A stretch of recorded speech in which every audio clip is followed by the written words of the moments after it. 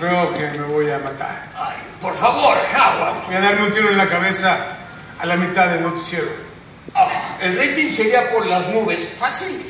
Un 50% de participación de audiencia. Ah, ¿Tú crees? ¡Claro!